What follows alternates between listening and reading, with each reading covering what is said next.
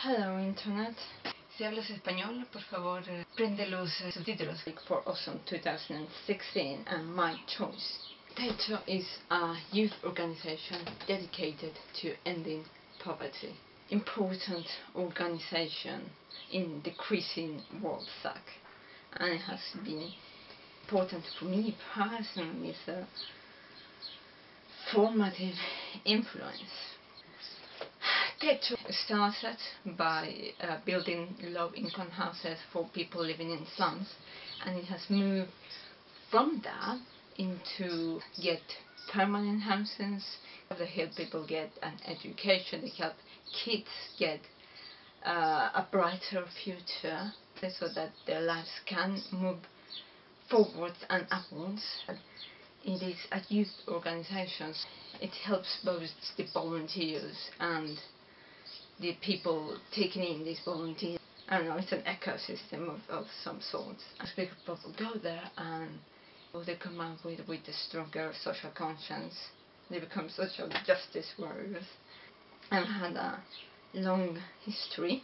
Uh, I worked both as a construction volunteer and I also did uh, tutoring for kids. My friends joke that it's a cult because can feel like that sometimes when it takes over your life. It's wonderful.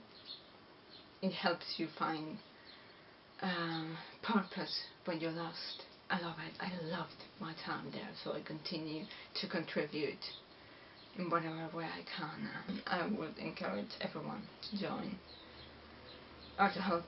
They're based in all of Latin America, the Caribbean, US and the UK. And the US has, I'm pretty sure there's one in Miami. Go see the website techo.org, techo.org. If you can, go spend some time with them. I get into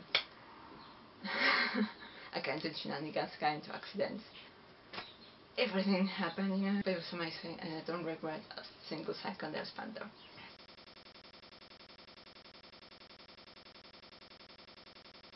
Hey, thanks for watching.